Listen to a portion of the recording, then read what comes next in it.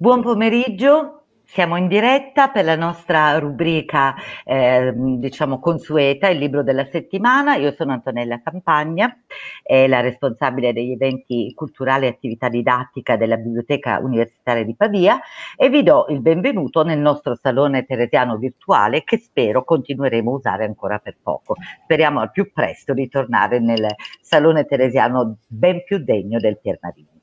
Oggi presentiamo il nostro libro della settimana di oggi, è Lo sguardo avanti, un libro veramente, mh, diciamo, molto importante. Lo sguardo avanti, mh, diciamo, è il libro di Abdullah Ahmed, ehm, che è un, ecco, adesso è arrivato anche lui, per cui ve lo, vi presento tutti i miei ospiti. È il libro di Abdullah Ahmed. Mm, Abdullah è un uh, giovane uomo nostro connazionale, perché dal 2016 è cittadino italiano, eh, che arriva dalla Somalia e questo libro, mh, diciamo, racconta ehm, la sua storia, ma non solo, racconta anche molto altro, poi ne parleremo. Intanto io partirei immediatamente con l'inizio del libro, perché all'inizio Abdullahi racconta il suo non ritorno, cioè dopo 17 anni ehm, decide ehm, di, eh, a febbraio del 2020 di tornare in Somalia eh, per mh, mm, diciamo un progetto di cooperazione che porta avanti, ma purtroppo il Covid lo blocca. Eh, quindi adesso vi presento i nostri ospiti e poi partirà direttamente un filmato in cui vedremo che invece Abdullahi a ottobre ce la fa torna in Somalia. Vedremo che cosa succede.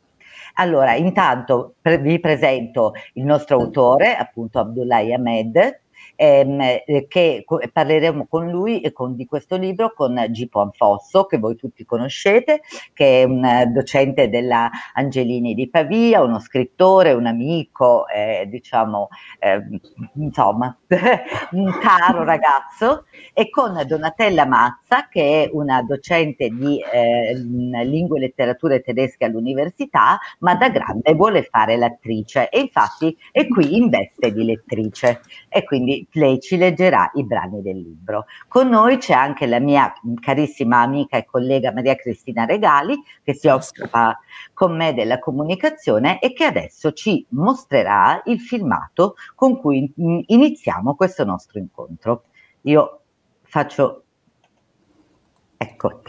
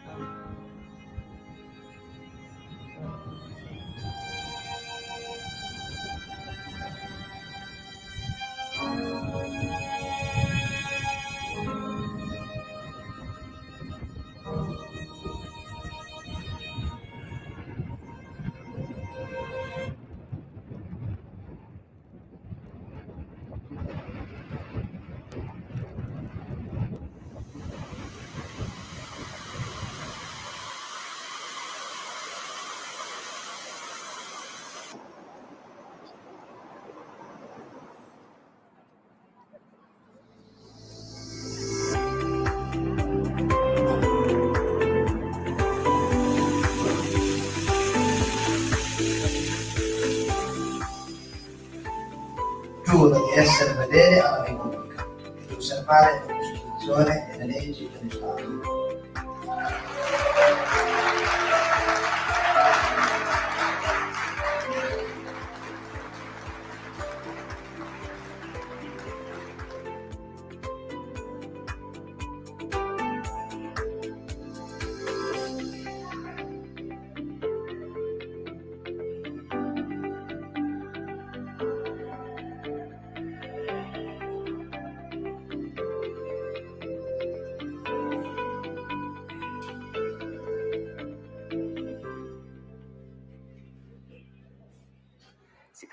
Un'occasione per noi di partecipare ad una delle sfide, secondo noi, più importanti del nostro tempo, la sfida delle, delle migrazioni, dell'incontro fra i popoli, conoscere, diventare più consapevoli e poter uscire e andare al di là del nostro piccolo mondo per scoprire che c'è molto altro eh, oltre il nostro contingente.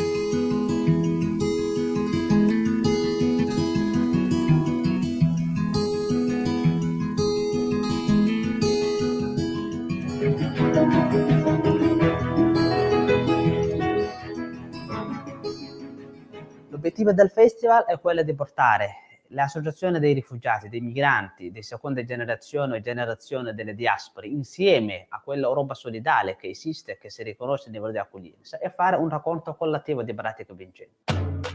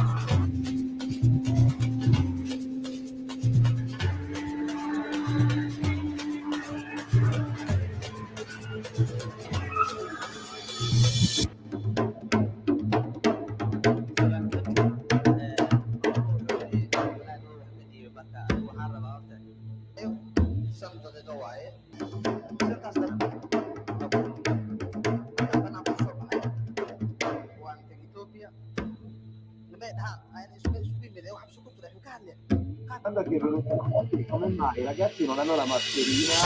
Allora Alessio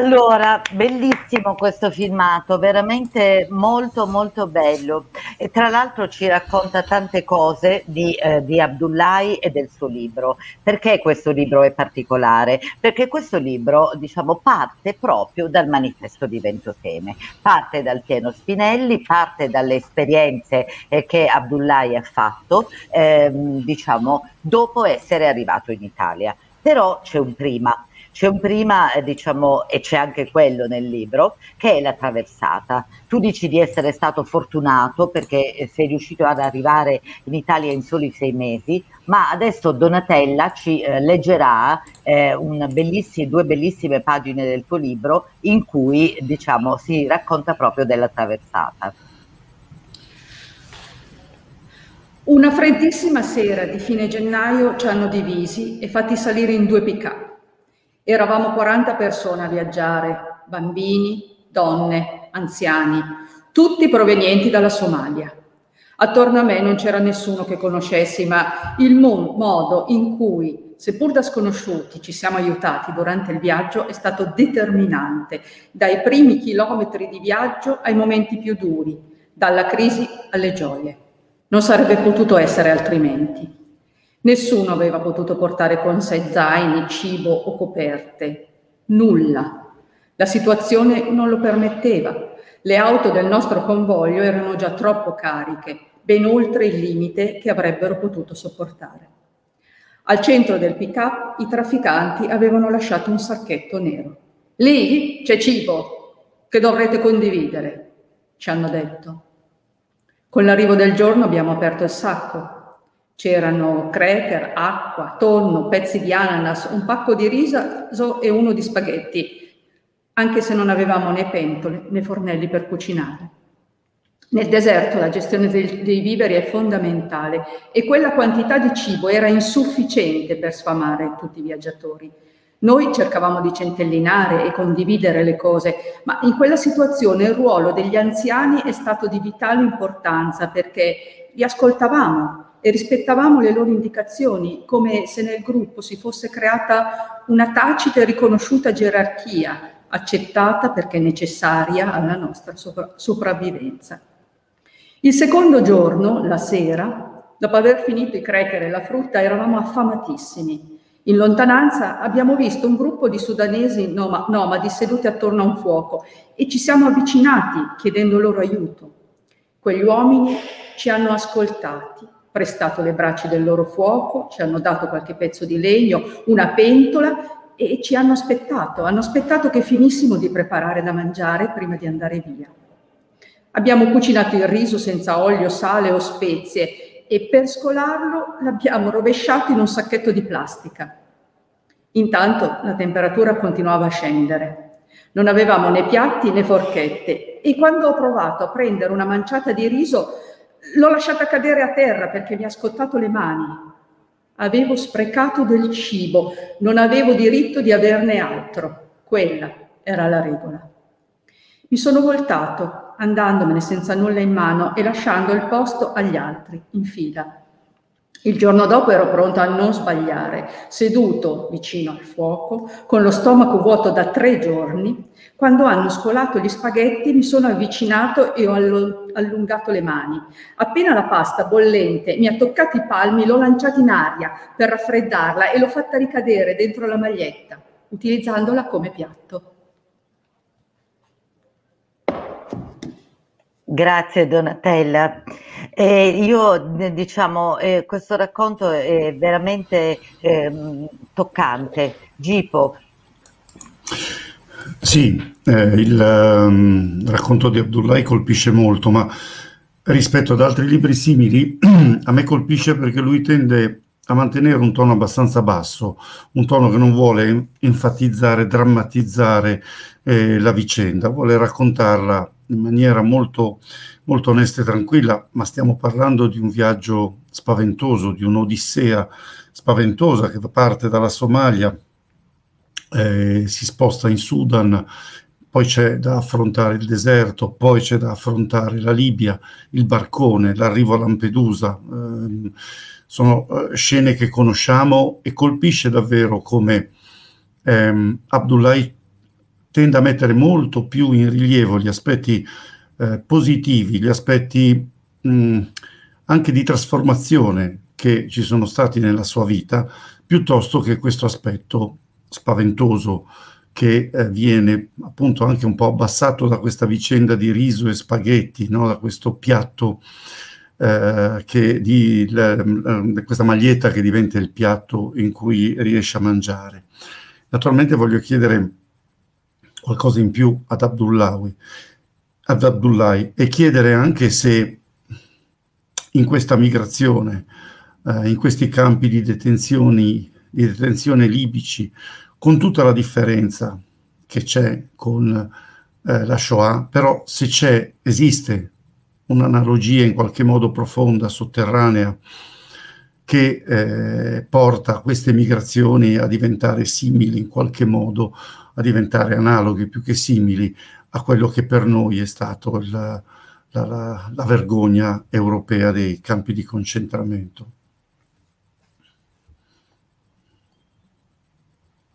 Intanto buongiorno a tutte e a tutte, eh, ringrazio Antonella, Cipo Anto- e Donatella, ringrazio l'ANPI eh, del comitato soprattutto di, di Provincia di Pavia, la biblioteca e tutte quelle che hanno organizzato questo, questo incontro. Ringrazio anche la casa editrice di editore che ha creduto a questo progetto perché alla fine il libro è un progetto. È un progetto che si può applicare anche in altri, in altri territori, in altri continenti, in altri paesi un po' questo l'obiettivo di, di questa pubblicazione. Eh, perché la, la, le storie che racconto non è solo la mia, è le storie di molte altre persone, ecco, simili a, che hanno la mia stessa, la mia stessa storia, le sfide generazionali, come cambiare anche la cooperazione e lo sviluppo internazionale, quale potrebbe essere la politica estera che l'Italia dovrebbe adottarsi per avere anche eh, per dare anche in qualche modo il ruolo necessario che oggi devono svolgere le diaspore, le, i nuovi cittadini italiani. Eh, per rispondere alla, alla domanda, eh, non so se fare paragone o meno, perché quello forse aspetta più che sottoscritto a un storico, sicuramente l'esistenza eh, eh la Shoah cosa ci insegna? La negazione, del diritto, la, la, la negazione delle, della dignità umana, no? il fatto di calpestare la dignità umana, di, di annullare proprio. No? Eh, io sono stato per Canao e Auschwitz eh, qualche anno fa con un'associazione che si chiama Dena eh, del nostro territorio, insieme a tanti altri studenti italiani giovani, per, per vedere, per conoscere, anche perché non è che io conoscevo bene o avevo qualche idea di più precisa prima del mio arrivo in Italia, anzi dopo il mio arrivo, dopo molto tempo ho scoperto che cos'è Auschwitz e che cos'è stato la Shoah in generale e cosa rappresenta oggi per la comunità ebraica, ma in generale le minoranze che si trovano oggi in, in Europa, ma non solo. E essere in minoranza a volte è un privilegio, disse Gandhi una volta, è sicuramente quella che si vede, che, che io ho notato anche in, nel, durante il mio attraversamento nel deserto, ma soprattutto in Libia, e che eh, c'è una forma di razzismo intanto molto diffuso, che è qualcosa di incredibile, che non si, non si nota molto. No? Si dice che i migranti non devono essere rimandati in Libia, però perché? Quali sono le motivazioni? Prima di tutto perché il 99% delle persone che arrivano dalla Libia non sono cittadini libici, cioè non sono nati e cresciuti in Libia. Secondo perché la negazione del diritto umano è ormai evidente. Sono molti giornalisti che hanno descritto, hanno raccontato le condizioni dei migranti. Oggi abbiamo l'internet, non si può dire che non sapevamo, a differenza della Shoah, no? Non sapevamo, non vediamo, si può accedere facilmente andando su internet cercando le prigioni private in Libia, le, le, condizioni dei migranti in Libia o i rifugiati e si vedrà, si, si può trovare assolutamente facilmente le informazioni. Per cui le negazioni del, di, di, di, de, de, della dignità umana. Eh, essere nero è diventata anche difficile in Libia, pur essendo ancora in Africa, questa è una cosa che per esempio non si dice, come dicevo prima. Eh, il fatto che diventi un soldato che cammina, quindi anche un cittadino semplice libico può pensare di, di, di, di rapinarti chiedendo in cambio per avere libertà i soldi. Quindi c'è uno che ha pagato per libertà, per, per avere libertà i soldi Cos'è questo? Quale forma? Come possiamo descrivere oggi nel 2021? Eh, se la libertà si paga, eh, che ha un prezzo. Eh, quindi è un viaggio davvero difficile, per cui quello che mi stupisce è il fatto che chi conosce le storie di Shoah, chi conosce eh, che cosa hanno vissuto eh, le, minor- le, minoranze non tantissimi anni fa qui in Europa e oggi vede eh, morte delle persone nel Mediterraneo che non, che, che non dice niente, che è diventato un numero, questo è, è preoccupante, questo sì è, un, è una cosa veramente che dobbiamo tutti quanti riflettere, capire perché oggi eh, migliaia di persone eh, che sappiamo che sono morte perché sono verificate, si dice più di 30.000 persone, quelle verificate che sono morte nel Mediterraneo. Che cos'è questo numero? Cosa gli dice oggi? È diventato un numero o dietro queste persone c'erano e c'erano anche storie eh, di riscatto, storie di, che, magari eh, in qualche modo erano investimenti della, della, proprio della famiglia, no? che avevano altre, altre aspettative, altre speranze. E non riconoscersi, non mettersi nel panni dell'altro è diventato qualcosa che oggi possiamo chiamare l'indifferenza totale di europei soprattutto. Non dar, dare una, una risposta concreta, un canale umanitario, qualche forma di alternativo a, queste persone per poter raggiungere un luogo che considerano un luogo di, di pace di, di, accoglienza è un problema anche per il futuro sicuramente perché le generazioni future quando scopriranno diranno cosa hanno fatto i nostri genitori, quelli che erano presenti in quell'occasione, in quel momento, come stiamo dicendo noi adesso, no? Nei confronti degli italiani di una volta o i tedeschi in modo particolare. Per cui la situazione in Libia non si sa molto e questo è una cosa che è importante sottolineare, il libro ho voluto proprio mettere alcuni pezzi che di solito non si è, non si è dato la possibilità di, di essere conosciute al pubblico. Ecco.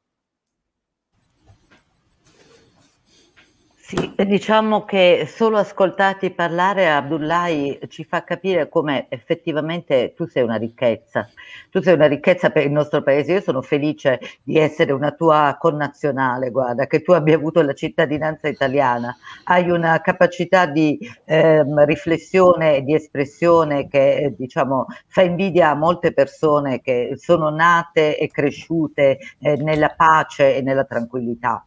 E, diciamo, quello che tu dici è assolutamente vero. Le, eh, I rari mh, momenti in cui ehm, diciamo, l'opinione pubblica e quindi di conseguenza anche eh, i politici, la, vita, la, la, politica si è svegliata rispetto alle migrazioni sono stati quando eh, con quelle terribili foto dei, bambi, dei bambini eh, arrivati eh, sulla riva, dei cadaveri dei bambini arrivati sulla riva. Per il resto, eh, diciamo, eh, si fa l'abitudine a tutto, ecco. Gifo.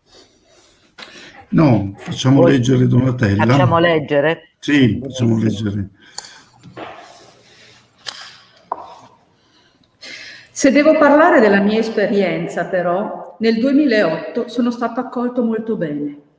Quando siamo arrivati a Settimo Torinese, a darci il benvenuto c'erano i responsabili del centro d'accoglienza, i rappresentanti del comune e alcuni cittadini. I centri di accoglienza possono essere di diversi tipi, strutture adattate per l'occasione, alberghi, ex caserme, tendopoli allestite in situazioni di emergenza. Quello di Settimo si chiama Centro Fenoglio ed è gestito dalla Croce Rossa Italiana. Lì sono stato molto bene, sia per le strutture in cui vivevo, sia per i progetti in cui mi hanno coinvolto. Nessuno di noi parlava l'italiano, nemmeno una parola, e qualche giorno dopo la comunità somala torinese, guidato da Mohamed Adel Sheikh, ha organizzato al centro una festa per la ricorrenza dell'indipendenza somala del primo luglio del 1960. Un piccolo gesto che ci ha fatto sentire a casa e ha dato forza a tutti noi che eravamo ancora spaesati dal viaggio e dalla fine dell'incubo. La visita dei nostri connazionali ci ha fatto sentire persone accolte e non respinte, esseri umani e non merci. Avevamo un posto dignitoso dove dormire, non dovevamo difenderci dalle aggressioni dei trafficanti e dei libici, c'era abbastanza cibo e la riservatezza era garantita. Avevamo tutte le condizioni per ricominciare. Per tre mesi ho condiviso la stanza con un ragazzo che veniva dal Chad si chiamava Mussà e aveva una decina d'anni più di me. Incontrarlo ha modificato il mio modo di vedere le cose perché fino a quel momento avevo sempre vissuto con i miei connazionali somali e per la prima volta mi trovavo a confrontarmi in modo diretto con la cultura di un altro paese. A pensarci sembra assurdo, un somalo che deve venire in Italia per convivere per la prima volta con uno straniero che è un ragazzo del Chad. Grazie Donatella, grazie mille della tua lettura. Eh, Abdullah, Abdullahi, adesso volevo farti io una domanda, perché tu eh, in questo brano, diciamo, si capisce che, e tu lo dici, tu che sei stato fortunato, però ehm, ci sono anche delle ombre, diciamo, nel, nel, libro, perché lo sbarco a Lampedusa non è stato, eh, diciamo, facile, ecco. Eh, tu a un certo punto, a pagina 95, dici Ora chiedo uno sforzo a chi sta leggendo. Provate a pensare di essere usciti vivi e da soli da un inferno, di aver rischiato di morire per giorni, magari dopo essere stati picchiati e privati di tutto quello che avevate. Immaginatevi finalmente davanti alla salvezza e non dovete fare altro che afferrarla per uscirne vivi e fare il primo lungo respiro di sollievo. Ecco, a quel punto sulla banchina c'è qualcuno che vi urla contro e che non vuole farvi avvicinare, che si incatena perché ha paura di voi, che alza cartelli in cui vi dice di tornare indietro. Immaginate qualcuno che prova a bucare il gommone su cui siete seduti e che si prende 15 giorni per decidere se farvi scendere a terra. Quindi diciamo, l'Italia è stata accogliente ma non da subito, Abdullah. Diciamo che la, se dico qual è stata la, l'accoglienza che ho già avuto, è un'accoglienza positiva, assolutamente. È già una gran parte, diciamo, se non solo una parte dell'Italia, anzi, una parte molto importante dell'Italia che si riconosce nel modo di accoglienza e fa sottolineare perché spesso e volentieri noi vediamo televisione, eh, soprattutto in alcuni periodi, perché poi diventa il tema dell'accoglienza un tema che ogni tanto risalta. Assolutamente uno strumento di, di guadagno, ecco, no? di creare confusione, di, insomma, di parlare solo esclusivamente quello come un problema, non, senza dare chiaramente una soluzione, perché poi il compito della politica è poi risolvere i problemi quando ci sono. Detto questo, eh, non si può negare che esiste una parte dell'Italia che non vuole invece l'accoglienza, questo è un altro dato di fatto che non si può negare, cioè, non so se è minoritaria, ma in ogni caso esiste, eh, dovuta anche alla mancanza di una conoscenza approfondita sul tema, su che potrebbero essere queste persone, hanno paura magari anche della loro eh, identità, quelle che possono rappresentare, insomma ci sono tutta una serie di cose che possono portare a non essere una persona accogliente. Eh, poi possiamo parlare di come si risolve, quanto potrebbe stato, quali, quali sono state poi le soluzioni che abbiamo adottato, che stiamo adottando nei nostri territori, perché c'è un po' di, un po' di anni di esperienza, ci sono anche buone pratiche dei vari territori che oggi possono essere date eh, visibilità per diminuire quella distanza che si è creata. Per cui io quella parte l'ho raccontato perché volevo invitare a quella parte di immaginarsi, no? di mettersi nel, nei panni di chi magari eh, si è trovato in quelle condizioni. Personalmente non ho avuto 15 giorni di, di attesa per essere eh, sbarcato, per arrivare alla Lampedusa, sono arrivati de... oh. sappiamo benissimo però sappiamo benissimo quanto sia stato eh, difficile perché si è trovato nel 2018 ad aspettare una risposta. Certo. No? Lampedusa pochi minuti, no? eh, cioè si vedeva le spiagge, erano, erano fermi lì. Abbiamo, abbiamo conosciuto una grande, una persona che ha avuto il coraggio di, di, di stoppare quel sistema, una, una, ragazza molto importante per le storie che ha rappresentato un periodo specifico. Non, non, so qui adesso a fare pubblicità, però è stato emblematico, no? E eh, salvare le vite umane è diventato un problema, eh, allora quali, non, quali, sono i non problemi allora se salvare le vite umane è diventato un problema? Per cui eh, ci interroga molto, per cui ho voluto inserire quella parte per chiedere eh, al lettore di sforzarsi, di, di, di, avere, di immaginarsi su quei parconi, su quei gommoni che sono in attesa di, di arrivare sani e salvi semplicemente sparcarsi, essere accolti e salvati. Ma per la tua vicenda tu usi, diciamo, più che la parola integrazione, la parola interazione. Vuoi, vuoi spiegare questa, che differenza eh, c'è tra queste due parole? A parte il fatto che hai un italiano perfetto, guarda. Ah, Tornare, la questione è molto semplice.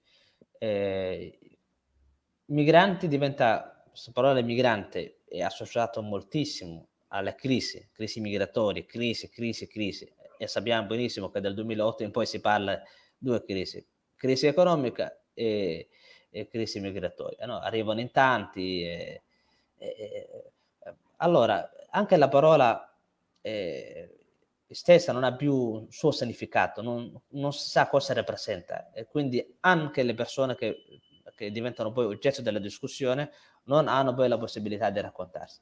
Vale anche per la parola integrazione. In modo positivo si dice, ah ma sì, lavoriamo tutti quanti per l'integrazione. Benissimo, ma cosa significa concretamente se vogliamo fare quel salto che manca oggi?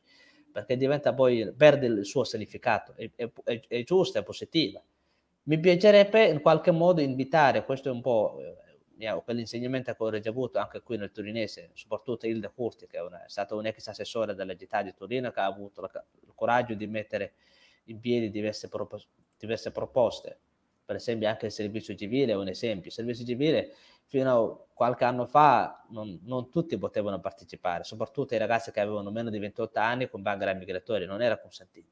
Mentre a Torino si faceva già più di 7 anni, si dava la possibilità ai ragazzi che volevano dedicare il loro tempo alla loro comunità senza chiedere ulteriori requisiti. Basta essere un abitante della città e poi, e poi svolgere questo servizio.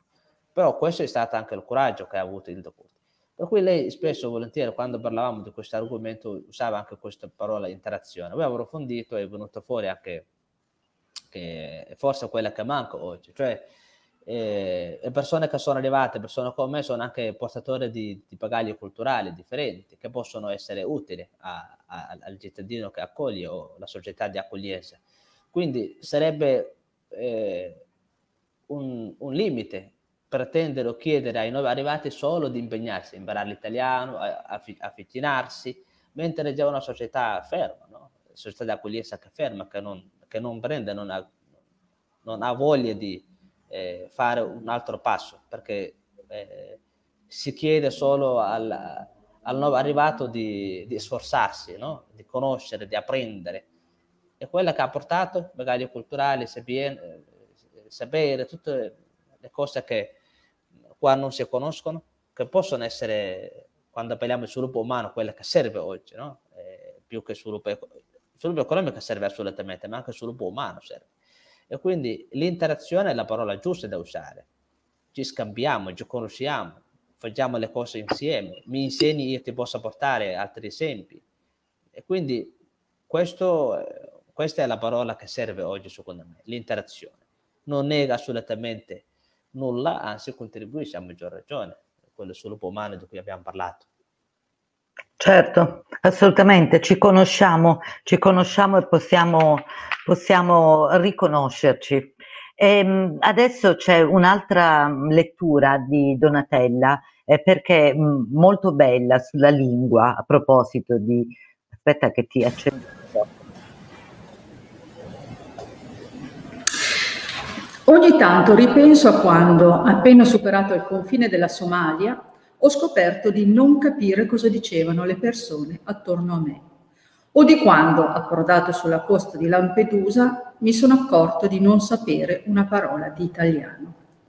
In Italia, per mesi, il mio mondo è stato popolato di suoni incomprensibili, di discorsi che non potevo seguire e di persone che parlavano di me senza che mi fosse possibile intervenire. Una delle tappe fondamentali del mio percorso in Italia, forse la più importante, è stata quella di imparare l'italiano, cominciare a familiarizzare con le sue parole e le sue strutture grammaticali. Ogni parola che imparavo, proprio come un bambino che la pronuncia per la prima volta, era un pezzo di mondo che cominciava ad appartenermi. Apprendere una lingua è un processo lungo, e per qualcuno anche faticoso, ma è un atto necessario per poter davvero prendere parte a un mondo ed essere un cittadino attivo. Più studiavo l'italiano, più capivo l'Italia, meno facevo confusione con i vocaboli, più mi accorgevo di avere diritti e doveri. Quando ho iniziato a lavorare come mediatore si sono poi aperti altri mondi e oltre al linguaggio di tutti i giorni quello che usiamo per sopravvivere, ho cominciato a familiarizzare con quello burocratico, quello dei documenti, delle questure, del Ministero degli Interni, dei moduli da compilare su cui c'era sempre una parola che non capivo e che dovevo farmi spiegare. Che cos'era la dimora? Cosa vuol dire essere udito? Cos'è un formato tessera? La fatica che fa chi arriva in Italia per imparare a muoversi, ad entrare nel suo nuovo mondo, deriva anche dalla difficoltà di capire il senso delle parole che improvvisamente diventano la chiave d'accesso alla sua vita. Sembra un concetto banale, ma non lo è, soprattutto se giriamo la questione o semplicemente la guardiamo meglio e proviamo a capire se per un madrelingua italiano è invece tutto semplice e chiaro, se per chi ha masticato l'italiano dal primo giorno della sua vita i termini del discorso sono chiari e conosciuti. Quando vado a parlare nelle scuole, quando incontro le persone comuni, quando mi confronto con alcuni politici e addirittura con persone che di mestiere si occupano di immigrazione e accoglienza, mi accorgo che non è così scontato sapere di che cosa si sta parlando e avere un vocabolario condiviso. Non è non solo per ignoranza, ma anche perché la lingua che accompagna il percorso burocratico e umano di un migrante è molto spesso tecnica e come tale non è semplice, eh, di semplice comprensione. È una lingua da imparare. Grazie Donatella, è una bellissima lettura veramente. Eh, prima di lasciarti la parola a Gipo volevo leggere una eh, riflessione che fa una, una, nostra amica ascoltatrice Paola Della Bianca che dice la parola interazione è una parola bellissima, contiene in sé il mettersi nel panni degli altri e l'agire per un fine comune. Eh, proprio di lingua parliamo adesso, poi leggeremo le altre domande, vero Gipo? Sì, è chiaramente anche un po' una mia deformazione professionale, io spero che ci sia anche qualche alunno dell'Angelini, colleghi so che ci sono e mi piace discutere appunto dell'italiano, dell'italiano della lingua e in generale anche del concetto di identità. Eh, Abdullahi ha magari in sé qualche traccia di italiano perché nella sua lingua sono rimasti come segni della, della colonizzazione. Ma è molto interessante anche quello che dice sulla lingua dei diritti. Io ogni tanto mi trovavo a parlare con eh, amici eh, migrati che parlavano con molta più competenza di me di decreto flussi di sanatoria, ma immagino la fatica per riuscire ad arrivare a cogliere queste parole, a capire anche la centralità di queste parole all'interno della loro vita e naturalmente anche la difficoltà per arrivare poi a, eh, a comunicare, a vivere eh, normalmente in, una, in, un contesto, riuscendo a capire e a farsi capire. E nel libro, nel libro Lo sguardo avanti, tra l'altro un titolo bellissimo, eh, faccio una parentesi, anche il discorso che tu hai appena fatto, accennando a quello che diranno le generazioni future, è proprio mh, tipico tu Abdullahi, non ti conosco ovviamente, ma ho letto con molta attenzione il tuo libro, cioè è la tua capacità di andare oltre, di pensare oltre. Lo discuteremo magari anche dopo parlando del manifesto di Ventotene, però questa capacità di pensare al futuro, di progettare il futuro anche nelle situazioni più difficili. Tornando alla lingua, volevo dire che poi c'è anche un discorso ovviamente molto importante di identità eh, abbiamo sgamato, abbiamo scoperto nel libro, a un certo punto tu parli dei somali in terza persona. Non dici noi somali, ma i somali fanno uh, questo, parlando dei somali in generale quando arrivano, quando arrivano in Italia e giustamente hai parlato dell'Italia come la tua come la tua patria. Naturalmente sappiamo le difficoltà che si incontrano in questo gioco di identità, in questa difficoltà ad essere somalo in Italia e italiano quando torni poi in Somalia. Aggiungo, anche per alleggerire il tono, quanto ti è servito nella tua identità riuscire ad appassionarti al toro, cioè riuscire a ritrovare nel calcio eh, che, amavi, eh, che, amavi, già in Somalia, trovare nel calcio un'identità comune con altri, tanti altri italiani.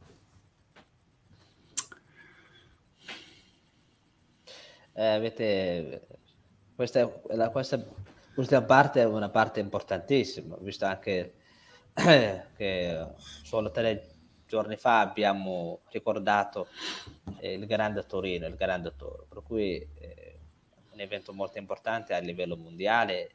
sono molto felice che si parla anche dell'identità di, eh, di, di, di, parlare anche no, nel libro, perché spero che leggano molti giovani, perché a volte si chiede ma noi cosa possiamo fare per includere, per l'integrazione, per l'interazione di queste persone, come possiamo eh, parliamo, quando parliamo dell'inserimento, inclusione dei nuovi cittadini, eh, quali possono essere gli strumenti e qual è il ruolo del cittadino. Per cui lo sport è anche un mezzo, è stato anche per me, quindi diventare un tifoso del Toro è stato grazie anche a un abbraccio, per cui io oggi ho un'altra identità e le mie identità, cioè non è che una persona deve avere per forza un'unica identità, uno può avere diverse identità, bisognerebbe soltanto non creare eh, crisi identitarie, ecco. Eh, sapere gestire e essere consapevoli di quelle che si è. Io sono tutto quello che abbiamo raccontato, insomma, l'italiano, europeo, africano, ci chiamiamo generazione ponte anche per questo motivo, per non crearci problemi, ecco. Generazione ponte che crea davvero eh, quella che serve oggi, cioè ponti tra generazioni e culture differenti perché la nostra presenza, se vuole avere un significato importante, è giocare il ruolo che già aspetta perché sappiamo che oggi c'è mancanza di conoscenze approfondite, sia chi arriva qui, ma anche chi accoglie. E noi che ci troviamo qua, vediamo il nostro futuro qui in Italia, in Europa, dobbiamo avere questo, questa capacità di metterci al gioco e di giocare il nostro ruolo. Il ruolo che ci aspetta è quello di creare ponte in questo periodo. Poi in prospettiva, in futuro si vedrà, ma in questo momento quello che manca è diminuire le distanze. La lingua è importante, certo, perché se non conosci l'italiano è difficile trovare lavoro, trovare o conoscere nuovi amici, eh, semplicemente è la chiave per, per, per poter vivere eh, una vita tranquilla o dignitosa in Italia, perché sappiamo quanto eh, oggi anche la mancanza del lavoro no, è diffusa tra i giovani italiani, ma in generale oggi c'è questo senso della, dell'incertezza che si affronta il futuro però se oltre alle difficoltà che si è incontrate per arrivare qua, è, è quella che manca poi la chiave che ti dà poi la, l'accesso e la lingua, per, anche per sfruttare l'opportunità che si può trovare. Ecco. Per cui è, è fondamentale, è stato anche per me così, quindi il primo obiettivo che spesso, volentieri, quando incontro i nuovi arrivati, magari probabilmente qualcuno è anche collegato, che ne sappiamo, che vuole approfondire il tema, gli obiettivi che mi ero sempre dato erano cinque inizialmente. Imparare l'italiano era il primo, non cercavo il lavoro i primi sei mesi, ma cercavo di imparare l'italiano. Ed è stata una scelta giusta perché poi ha premiato quel sforzo che ho fatto, perché chiaramente se hai le scadenze di lasciare il centro di accoglienza, devi per forza trovare un lavoro per poter mantenerti o mantenere anche le famiglie. Per cui quei sei mesi a me hanno servito per imparare un po' di italiano e poi devo ancora migliorare sicuramente, però quei 5-6 mesi avevano servito in quel momento specifico. Poi imparare l'italiano, esperienze lavorative, trovare lavoro, casa, fare mediatore interculturale, cioè avere qualifica, eh, cittadinanza italiana, erano altri obiettivi che abbiamo dato negli anni successivi. Per cui eh, obiettivo primario per i migranti è imparare l'italiano in primi, in primi momenti. Diversialmente lo sarà perché sono padri, genitori di famiglie, magari persone che li aspettano, quindi devono per forza trovare, cercare di trovare lavoro. Ecco. Ah, guarda, eh, ci sei riuscito perfettamente. Gipo, qu- qu- quanto lo vorresti un allievo che parla italiano con la competenza linguistica di, Abul- di Abdullahi? Eh? Cioè... Eh, a questo punto Abdullahi lo voglio quando sarà possibile per le questioni pandemiche, di, voglio assolutamente in classe a parlare con, con, i miei alunni futuri, insomma, per quest'anno non se ne parla, però sarebbe veramente, veramente molto bello perché poi per i ragazzi la differenza tra un libro e la presenza in persona di qualcuno che ha vissuto certe esperienze è fondamentale, lo verifico, lo verifico sempre. Sei prenotato, Abdullah, eh, sappilo.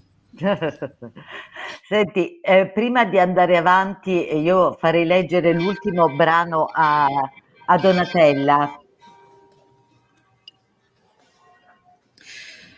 Essere stranieri non vuol dire solo dire, non vuol solo dire arrivare da un altro paese, non si limita ad essere una questione legata alla provenienza né alla geografia, ma è qualcosa che ha a che fare con il senso di attaccamento e di appartenenza a una società, con l'impegno che le si dedica e le si dona. Io sono diventato cittadino italiano il 21 marzo 2016 ma credo che il mio passaggio da straniero in Italia a cittadino italiano non sia avvenuto attraverso quell'atto formale, comunque per me straordinario, ma grazie ad una convinzione che si è radicata con il passare del tempo. Per diventare veri cittadini è fondamentale sia conoscere il passato della società in cui si vive, sia contribuire a crearne il futuro. Cittadino non è chi abita un luogo e neppure chi viene accolto e ben voluto da quel luogo. Cittadino è chi fa qualcosa di concreto per la sua comunità, con l'obiettivo di renderla un posto migliore e più gentile per tutti. Quando sono arrivato a Torino non conoscevo nulla della città che mi stava accogliendo, quasi non sapevo dove si trovasse su una cartina geografica, non ne conoscevo la storia e neppure capivo i desideri e le paure delle persone con cui mi trovavo a condividere i miei giorni. Ci sono voluti tempo, impegno e testardaggine. C'è voluto un percorso fatto di scontri e confronti per capire che essere stranieri, oltre a una questione burocratica, è un fatto di partecipazione. E questo discorso, se cambiamo il punto di vista, vale non soltanto per chi arriva, ma anche per chi ti accoglie. Perché talvolta anche da quella parte si tende a considerare e trattare il nuovo cittadino con un passato migratorio, come uno straniero. Non si tratta di razzismo, anche se è vero, spesso dobbiamo confrontarci anche con quello, ma di una visione per la quale lo status di straniero è e deve essere perenne come un segno che si porta addosso per tutta la vita. Eh sì, guarda, questo è un pezzo molto interessante, Abdullahi. Io ho notato la tua frase, eh, non si può essere stranieri per sempre, che secondo me è una frase veramente eh, importantissima. Eh, diciamo, e nello stesso tempo, eh, diciamo, volevo chiederti anche che che, che, cosa ha significato per te dopo 13 anni tornare in Somalia? Perché comunque, diciamo, nella prefazione, tra l'altro molto molto bella di Carlo Greppi al tuo libro, eh, a un certo punto lui cita ehm, eh, l'antropologo Costravi eh, che definisce l'esilio la presenza costante dell'assenza e quindi eh, diciamo nostalgia, la parola nostalgia in italiano viene dal greco nostos cioè il dolore del ritorno. Come è andato il tuo ritorno in Somalia? Che, che sentimenti eh, provi verso l'Italia e la Somalia, come tu hai detto benissimo, che sono, convivono perfettamente in te, ecco. La, il mio ritorno è stato un ritorno importante, veramente di, di, di una, anche se vogliamo, da persona che ha lasciato età giovane, poi ritorna da eh, giovane adulto, ecco, mettiamolo così, con uno sguardo ha vissuto in, altri, in un altro paese, ha conosciuto altre culture, ha vissuto dall'estero i cambiamenti che sono avvenuti, però ritornare ai luoghi dell'infanzia, delle mie infanzie, il luogo dove sono cresciuto, rivedere come sono cambiati, ritrovare gli amici, quei pochi che sono rimasti, eh, i genitori, i fratelli, i parenti. È stato un viaggio di grande, di grande emozione, devo essere sincero. E tante aspettative sicuramente, però anche con, con la voglia di scoprire, di, di valutare, non essere quella che sa tutto e anche nel libro ho tentato di non essere quelle che ha la, le, le, verità assolute in tasca quando propongo certe soluzioni no? per quanto riguarda la comprensione del sviluppo. Quindi ha servito anche a me, serve anche a me di vedere quali sono stati i cambiamenti, quali sono le aspettative dei giovani in modo particolare. L'incontro con le scuole poi è stato veramente incredibile, molto bello, i scambi tra i ragazzi somali e italiani altrettanto. Poi parleremo di 28 nel manifesto.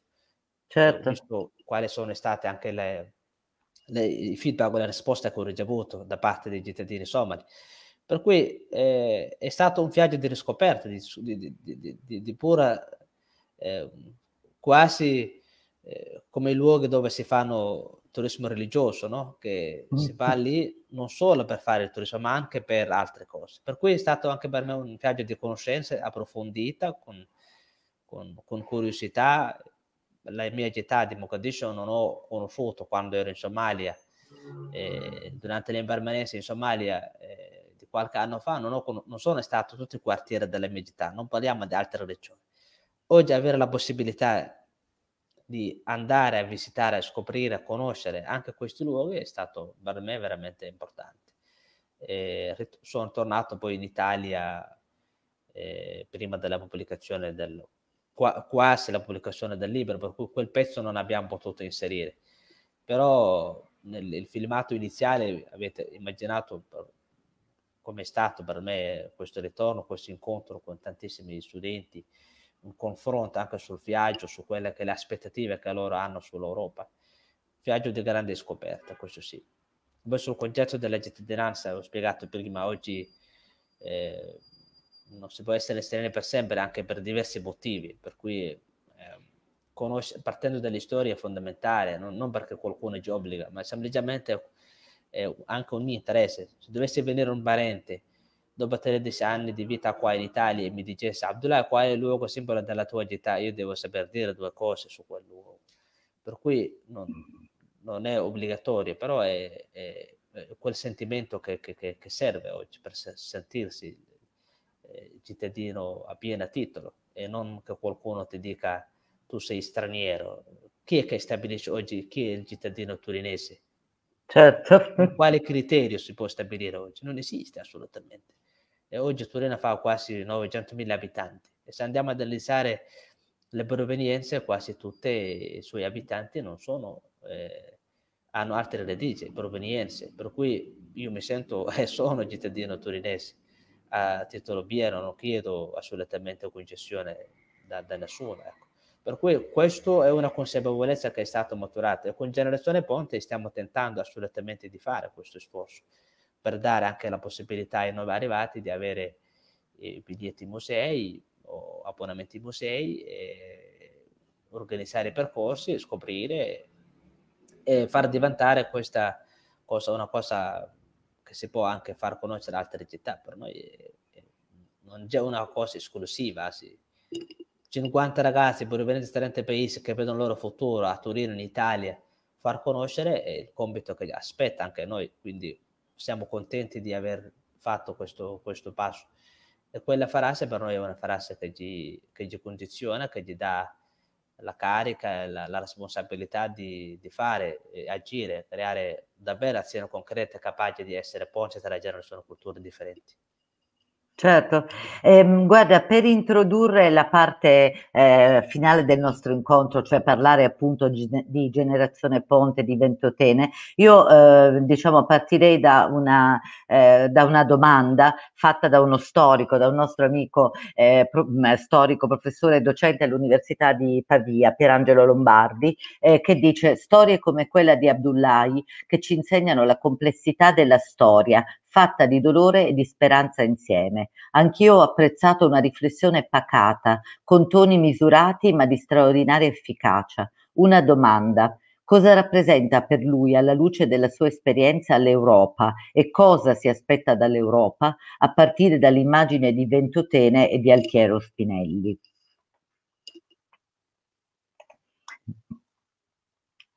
Gipo. Io volevo aggiungere eh, così poi ci può fare un discorso complesso. Abdullahi, che uno degli aspetti più incredibili del libro è questa storia del manifesto di Ventotene. Il manifesto di Ventotene è stato scritto nel 41 da eh, Rossi, Colorni e Spinelli, cioè nel pieno del peggio della guerra, insomma, eh, Hitler aveva attaccato l'Unione Sovietica, che era uno dei due baluardi rimasti, cioè c'era veramente un momento di grande difficoltà, eppure queste persone si sono messe a pensare a un futuro, a un futuro non banale di riuscire a sopravvivere, ma un futuro di cambiare per esempio l'idea dello Stato-nazione e di cercare una, uh, un'identità, una comunità che fosse, sovra, che fosse sovranazionale. E questo, come dicevo, è l'eredità più forte che è rimasta in Abdullahi, cioè questo riuscire sempre ad avere lo sguardo oltre, ad andare verso il futuro. No? Quindi mi faceva piacere appunto che lui spiegasse come eh, un somalo viene qui, un, eh, viene qui a insegnare il manifesto di Ventotene scritto da italiani ad altri italiani e poi appunto ricollegarsi alla domanda di, di Pierangelo Lombardi sull'Europa e, eh, data, data Ventotene, data la situazione attuale. Insomma. Entrambi sono due riflessioni, due domande importanti. Eh, sicuramente la, per rispondere alla domanda sulla, sullo, sull'Europa. Eh, per me l'Europa era, eh, prima della mia partenza, intendo, nel 2007, eh, immaginavo, no? avevo questa illusione sull'Europa, non è che avevo conoscenze approfondite, assolutamente, però immaginavo, no? insomma, non, c'è la pace, se vai lì magari può, può essere un luogo dove puoi lavorare, avere rifugio, essere riconosciuto come rifugiato. Diciamo che oggi posso dire che l'Europa è stato un luogo di riscatto e di possibilità per me e lo può essere anche per altri che verranno dopo di me o che sono venuti con me. Quindi un luogo di possibilità, ma anche per gli autoctoni, perché no? E oggi c'è questo senso della, dell'impotenza, dell'incertezza, no? tutto, tutto fa male. Chiaramente non vivo la luna, vedo le difficoltà che la gente incontra. Però a differenza di altri, altri paesi, alt, altri continenti, altri posti, l'Europa ancora oggi certi diritti vengono tutelati e anche garantiti per legge, dalla legge. Ecco. Per cui non uh, rappresenta ancora oggi per, per molti questo. Una volta si parlava del sogno americano, probabilmente per alcuni oggi è il sogno del sogno europeo. E, e non intendo un modo specifico a un paese specifico, arrivare in Europa per, perché c'è 70 anni di pace, più 70 anni di pace, eh, per quella che ha rappresentato anche l'esperienza di Ventotene per collegarmi. Questa pace eh, oggi c'è gente che non, non, ha conosciuto la pace, che vive nelle guerre, che cont- sarebbe contentissimo di, di vivere il, paese, il, il, proprio paese eh, con la famiglia, con amici, con, però c'è questa guerra, ci sono queste guerre, conflitti. La Somalia è una delle tante, però ci sono anche altri paesi, la Siria, l'Iraq, l'Afghanistan, molti altri paesi, anche le stesse Libia. La Libia che ho conosciuto è diversa, molto diversa dalle Libie attuali. Poverini, dico adesso, perché in quelle occasioni oggi sono loro che si trovano in una situazione davvero di difficoltà. Per cui i ragazzi come me che sono venuti qui a scoprire eh, questa esperienza europea, italiana innanzitutto, ma anche europea, eh, il periodo che è stato iscritto soprattutto, chi erano, dove si trovavano, un periodo molto specifico, ci dà veramente una grande carica, perché immaginare tra 41 e 44, altro che crisi economica, qui c'erano milioni di morti, tedeschi, inglesi, francesi, italiani si facevano la guerra, c'era Hitler, Mussolini, eh, la guerra era qui, milioni di morti, milioni di morti milioni di morti, molte città erano distrutte. Per cui avere la capacità di guardare oltre, di avere lo sguardo avanti, di immaginare un qualche cosa di bello, positivo per tutti, non solo per una parte, è stato per me un grande insegnamento. Mi ha dato quella possibilità di dire, forse non siamo in stesse condizioni, anzi siamo adesso avvantaggiati, abbiamo più possibili strumento eh, tecnologico, capacità di organizzare, più strumenti oggi si ha a disposizione. Eh, non siamo in quelle condizioni per la nostra fortuna, dico io, per la nostra fortuna. Però questa, questa esperienza non è solo un'esperienza italiana-europea, può diventare anche un'esperienza acquisita dei nuovi abitanti, nuovi cittadini. Perché no? Perché no? Perché non dovrebbe essere fatto conoscere ai ragazzi che vengono in Somalia dire guardate che gli europei si sono combattuti. E l'esempio emblematico che io ho raccontato è stato la Germania. La Germania è stata sconfitta nella seconda guerra mondiale, divisa fino a 30 anni fa, però se oggi andiamo a vedere la Germania è numero uno sull'economia, andate a vedere dove, dove vogliamo analizzare. questo significa che la pace è un fatto possibile. È fatto possibile perché i tedeschi, inglesi, francesi, eh, oggi è difficile immaginare un combattimento tra di loro usando gli armi che conoscevamo una volta o si conosca adesso, sono i droni adesso, però è difficile. Perché? Quelli non si sono ammazzati soltanto 75 anni fa, certo che sono ammazzati. E insomma, che sono 10-15 milioni di abitanti, senza cultura, senza lingua, senza religione possono convivere in pace? Assolutamente sì, e la pace è un fatto possibile anche in quei contesti, in quei, in quei, in quei paesi dove ci sono ancora i conflitti e le guerre. Quindi il congresso dell'utopia è stato realizzato gran parte. Poi sul tema del federalismo non entra perché è molto specifico. A me interessa, da nuovo cittadino, scoprire questa esperienza, le condizioni che si trovavano in un periodo specifico, seconda guerra mondiale, confinate perché erano avevano certe idee, quindi contro la loro libertà venivano, eh, per loro liber- la libertà, loro volevano lavorare, per i loro pensieri venivano richiusi in in confino, hanno prodotto, hanno elaborato un qualche cosa che oggi si è visto è, è positivo per, per, per molti e per chi verrà anche dopo di loro. E questo per noi è un grande insegnamento. Organizziamo ogni anno durante la settimana del 25 aprile il Festival di Ventutene, il Festival della roba solidale del Mediterraneo come Generazione Ponte. Portiamo tantissime realtà che rappresentano le diaspore, persone che già l'hanno fatta, persone che vedono il loro futuro in Europa, che stanno costruendo i ponti con i loro paesi di origine, con i paesi europei e ci sembra anche giusto far conoscere ai studenti italiani perché non tutti gli italiani conoscono queste storie. Per cui abbiamo abbiamo voluto rendere, questo è il nostro obiettivo come generazione Ponte, l'esperienza di Ventotene un'esperienza contemporanea, un'esperienza, un strumento di, di cooperazione e sviluppo e anche della democrazia. Sì, tra l'altro volevo dire che nel 2020 ehm, eh, ha vinto il, il, premio Alterio Spinelli della Commissione Europea, proprio il, il Festival dell'Europa Solidale del Mediterraneo di Ventotene. Quindi diciamo l'Europa, anche l'Europa, anche la Commissione Europea si è accorta dell'importanza di quello che state facendo. Ecco. Gipo, siamo alla, a, agli ultimi... Sì. Eh, eh, minuti. Io, io, preferirei magari sentire qualche domanda. Eh, sì. Per esempio, ho visto adesso l'ultima, mm, Rosalba Geraci, che chiede eh, che eh, ho sentito da parte di migranti italiani ritornati in Italia dopo tanto tempo dire che si sentivano stranieri anche in Italia perché avevano perso il cambiamento avvenuto durante la loro assenza. Hai provato anche tu questo sentimento?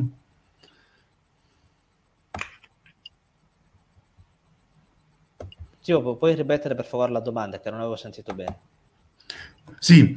Ehm, Aspetta, te la, te la posso far vedere, guarda. E questa è la domanda, Abdulai. Ho sentito da parte di migranti italiani ritornati in Italia dopo tanto tempo dire che si sentivano stranieri anche in Italia perché avevano perso il cambiamento avvenuto durante la loro assenza. Hai provato anche tu questo sentimento? Sì, è doppio. Se vai dopo tanto tempo proprio di paesi d'origine porti eh, un, certi approcci o magari eh, affronti con, usando strumenti o eh, i pensieri che hai acquisito e vieni visto come qualcuno che viene da, da qualche altra parte o, o stessi comportamenti che magari no, eh, hanno altri, altri cittadini giustamente dico io, che magari non hanno viaggiato, non hanno visto altre parti, il giudizio che possono dare verso altri paesi, no? o magari si danno loro stessi. L'Italia all'estero viene visto un paese molto bello, eh, paese da, da conoscere, l'esperienza che ha rappresentato, i luoghi, però se, andiamo a vedere eh, l'esperienza di Ventotene, quanti italiani conoscono? Se andiamo a vedere il Bruxelles, il Parlamento europeo, il nome che c'è scritto, il palazzo è proprio dedicato, il, il palazzo del Parlamento è Spinelli. Però perché non, non viene valorizzato questo tipo di esperienza?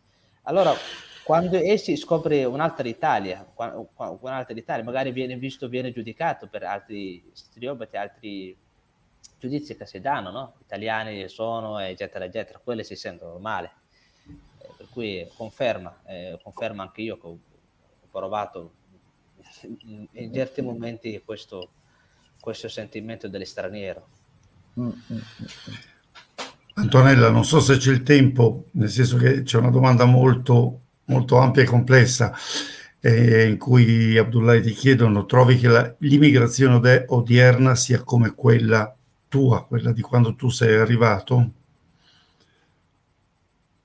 Sì, non, non vedo i cambiamenti. Non, non ci sono differenze. Probabilmente, probabilmente, cambiano le provenienze, ma le motivazioni rimangono. Mm. Eh, io oggi ho la cittadinanza italiana, posso andare dove desidero se sono nato qua, non è che se sono nato insomma non, non ho stabilito a monte, non potevo scegliere dove, dove nascere.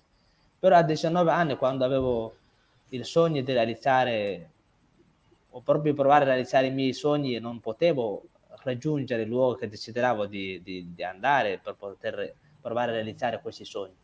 Oggi invece, pur avendo ancora il nome Abdullahi, non sono cambiato, ma è cambiato il mio status. Ho la cittadinanza italiana, decido io quando andare a Lampedusa certo. e, e decido quando ritornare da Lampedusa. Potrei farne altri esempi.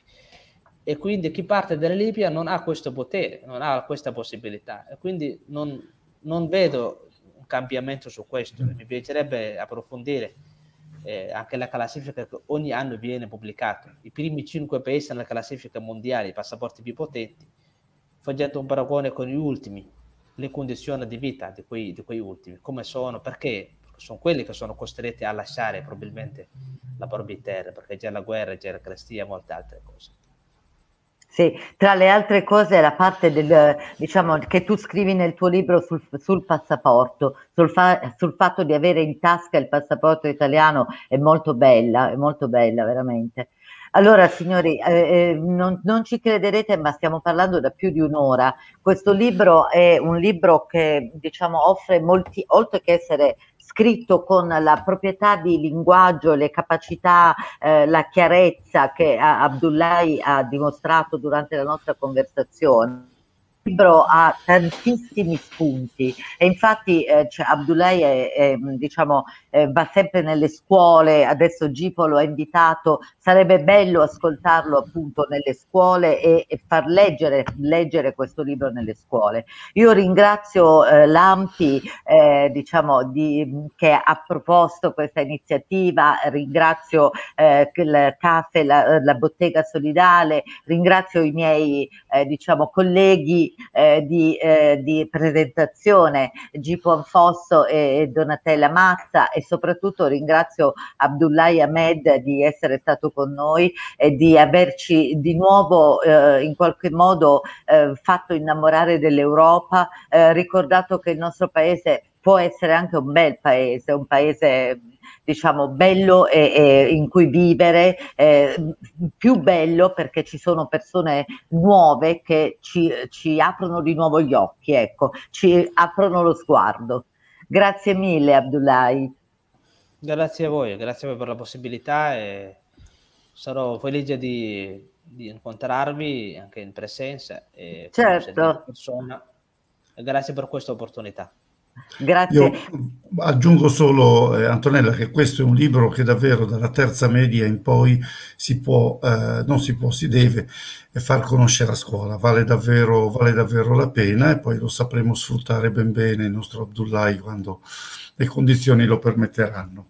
Certo. grazie da ancora da parte di tutti. tutti quanti i nostri ascoltatori, eh, saluti, grazie. Poi potrai vederti i commenti eh, sulla pagina Facebook della biblioteca e da domani, da stasera anzi, anche su YouTube. Donatella, grazie mille. Figurati, grazie a te, eh, grazie a tutti. Eh, sono sempre delle bellissime esperienze e eh, la voce ne gioisce. Va bene, allora ci vediamo la prossima settimana con i nostri lettori della Biblioteca Universitaria di Pavia. Cambiamo completamente genere perché presentiamo un libro di Roberto Lodigiani, oggi è il suo compleanno, gli faccio gli auguri, che si chiama La spia di Stalin. Quindi la prossima settimana in biblioteca si parla di guerra fredda. Ciao Abdullahi, è stato un vero piacere conoscerti. Arrivederci a Abdullahi. tutti. Ciao, ciao a Ciao. tutti.